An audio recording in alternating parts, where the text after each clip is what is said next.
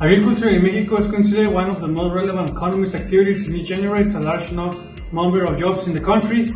It is considered the most important productive sector from the economy, social and environmental point of view. So it depends on the primary diets of millions of people, the increase of productive population, and the preservation and care of the environment. In Mexico, there are about 200 agricultural products that it may cultivate within the country. The area dedicated to agricultural production in Mexico is very wide, since occupies just over 30% of the total national territory, which equivalent to 145 million acres dedicated to this activity, where corn and beans represent more than 80% of the agricultural production, being the most cultivated products in the entire republic. Mexico is the fifth largest producer of the bean in the world, and Durango, the state where we reside, is the second largest producer of bean nationally.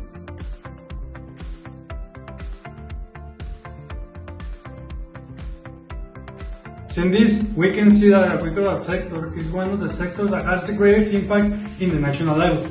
Therefore, it was decided to carry out the bean threshing machine to facilitate this process for the agricultural workers, managing to carry out the process of the separating beans from the pod automatically.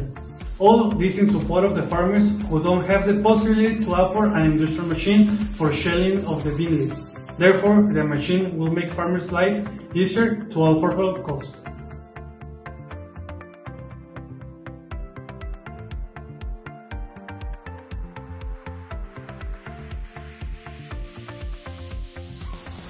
It is that several of the bean farmers don't have the possibility to rent by a machine to harvest the bean. So we took into that account and made a small scale machine in order to help these farmers, thus reducing the cost of the machine to make it more accessible to them. Another thing is that at the moment of taking the beans out of the leaf, it's quite tiring if you don't by hand.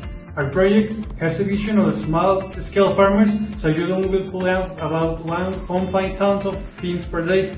It will proper use we dedicated and the machine. Thanks to this, the bean producer who has 3 to 5 acres will be able to reduce his harvest time, all this to save money and earn more money with less physical effort.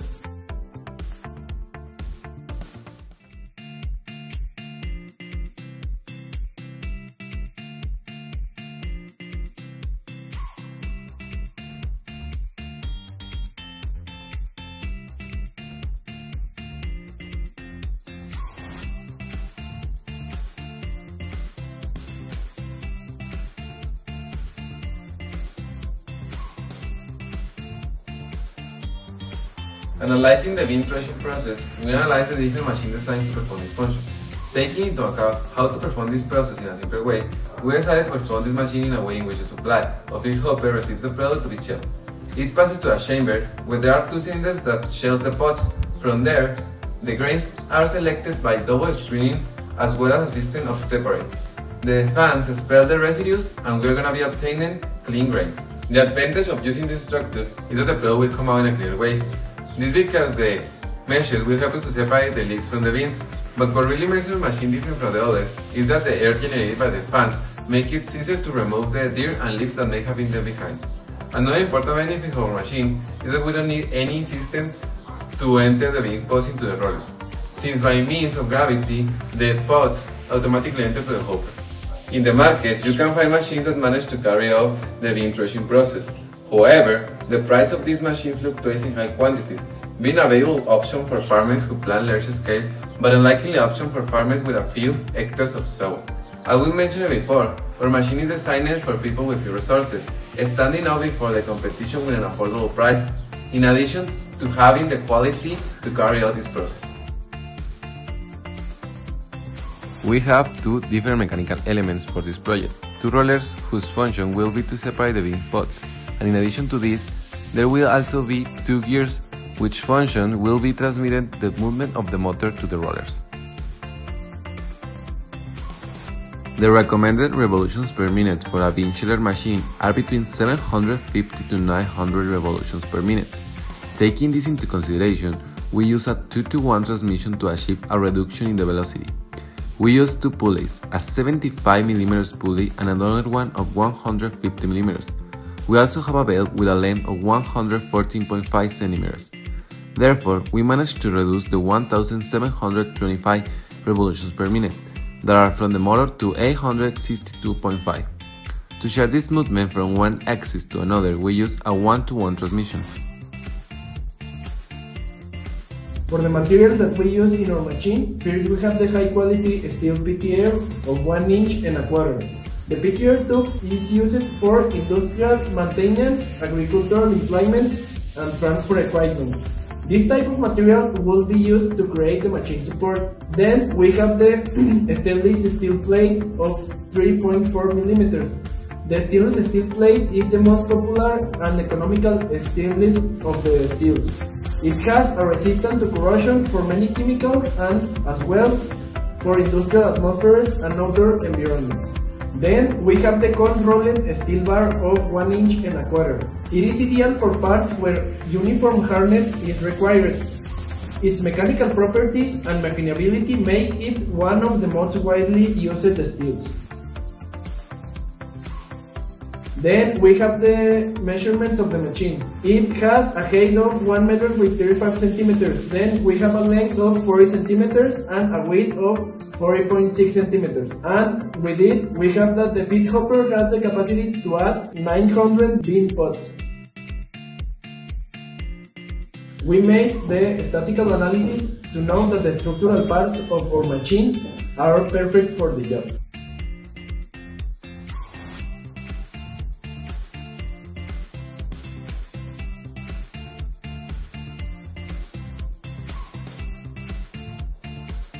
We know that the safety factor is a number that indicates the capacity of our machine, depending on the materials used. For that, it is a number greater than 1. Making the analysis using the so software SolidWorks, we could know that the safety factor of the structure of the bean sheller is 1.59, knowing that the machine is perfect for the job. This process is simple to carry out, however, it's still tedious activity and takes too much time for the farmer, causing economic losses. So automating this process will bring important advantages as any automatic process seeks to facilitate the performance of this activity for the human being. With the machine, it's possible to reduce the time of the process, achieving greater productivity for the farmers. In addition, to generating a gain of ineffectiveness. To be able to understand how all processes automatized, we have to understand the manual process where the pounding or threshing consists of separating the bean from the pod by hitting with a stick. It's important to know when to do it and generally the bean, uh, the bean plants are ready to pound 5 to 10 days after the harvest. After that they take the leaves out and they use the the wind to separate the soil from the beans and remove the leaves and that have been remated. The electrical materials we need to automatize the process are the next. First, the motor, which function is to move the rollers to charge the beans. This through a pulley. The motor works with 127 volts and have a velocity of 1750 RPMs, which requires 6.3 amperes stop. Then we have the thermomagnetic switch that helps us to prevent an, electric, an electrical short circuit and damage electrical components and connections.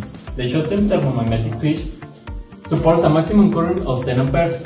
This will be enough for our system. Encapsular relay, which was chosen because it protects the motor in case of a failure. So it is important to have uh, this component in our machine. It is a key. Uh, this in order to make a safe and durable machine. Also, to make the machine safe for our users, we decided to implement an, an emergency stop switches. This to start and stop the machine in a correct way. All this has to be connected by 3 by 12 wire, wire with we select a 12 gauge wire of drop use. This having in mind that it can support a 25 amperes. This according with the NOM 001 CD 2012 Instalaciones eléctricas utilización and it will be enough for our system and using a, a main plug to energize all the components and we work, we work with 110 volts and we have a current of 15 amperes. Without these components, the machine will be able to move pulley, which a, a, a band will move 2 years, moving the rollers. This can be dangerous for the users, so we decided to implement some protectors.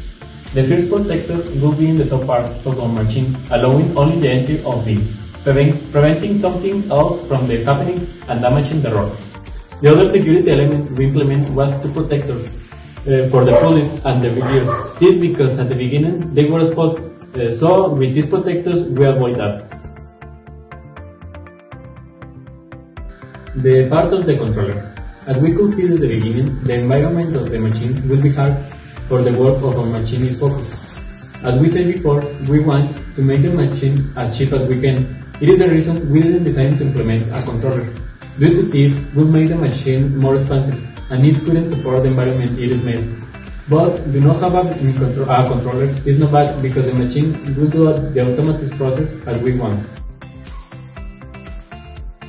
Energy consumption. Taking account the energy that each component needs, we have the motor, which needs 0.37 kilowatts, and the fans, which need 0.036 kilowatts, and the cost per kilowatt is 64 pesos. So, doing the calculations, we have a bimestral energy consumption of 99.77 pesos.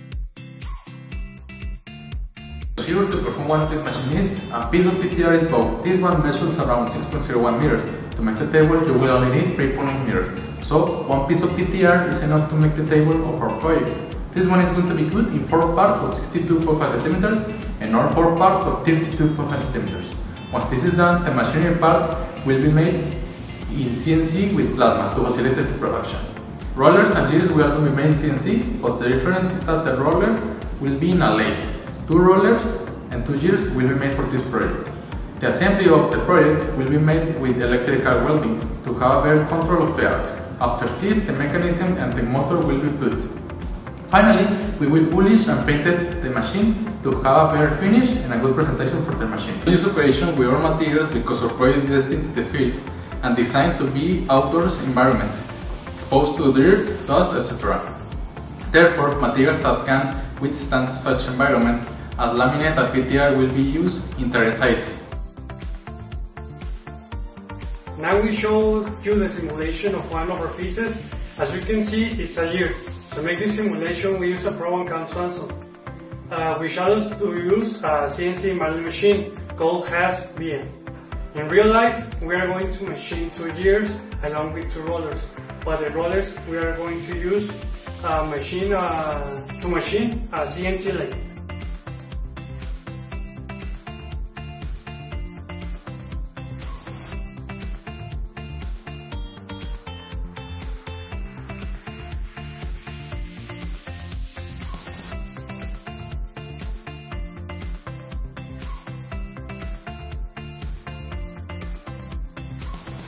The type of welding we use for our project is electric arc welding. This is because it gives us stability, it is cheap, in addition to providing a robust and durable welding. The type of electrode that we use will be E6030. This electrode is commonly used for car bodies, iron ornaments, metal furniture, and agriculture implements. Our idea of sale is through the distribution to green hardware stores or companies where material or machinery for agriculture are sold. In this way, we will only be charged of being suppliers. And the distribution for the public will be done by our companies. The machine can be distributed nationally by purchasing a certain number of machines from companies that require it. In this way, they will spread throughout the republic and a large market will be created with this. The competition with similar machines increased and will benefit all farmers who need a machine to facilitate the work of selling the beans. And they have many options to choose which one is the best for their work and budget. Our main concern is to reduce the costs to such an extent that it's accessible to all those farmers who require a bean sheller. Therefore, all our parts have the best prices that we could find in the market, but without reducing the quality that the machine would have. The general production cost of the machine are 4,214 pesos in structural material expense, which include all the materials of the basic materials structure as well as the machine parts. Uh, 434 pesos in consumables, which includes all the consumables that the assembly of the machine uh, requires, such as welding, electricity, etc. And 1,690 pesos in electrical equipment which includes all the electrical equipment used within, such as the cable and the motor. On the other hand, the owners of the product, we know that we have to obtain a benefit from the building of the machine. So we must always take care of the prices for the consumer. The final price of the machine to the distributors is 8,999 pesos, obtaining a percent gross profit uh, margin of 29.5%, which has a net profit margin of 24.5%. Once we consider different additional costs, so we consider that we offer a quality machine at a good price and we get a good profit margin. Among the options uh, offered by the market, this type of machine is scarce and most of the time it's usually expensive. Due to the cost of this exceeds uh, the 18,000 pesos and it increases depending of the machine's capacity. Because of this, they are mass produced and none of them are dedicated at the farmers who often lose their money because they have to sell the product with, without trash sheet and they lose their money. It is concluded that the project has great potential to be created and distributed as a new product on the market. All this was possible thanks to the knowledge acquired throughout the career, which reflects the knowledge and development of my partners at create a project from a sketch to take it to its physical elaboration. Unfortunately, this is not currently possible due to the current sanitary conditions.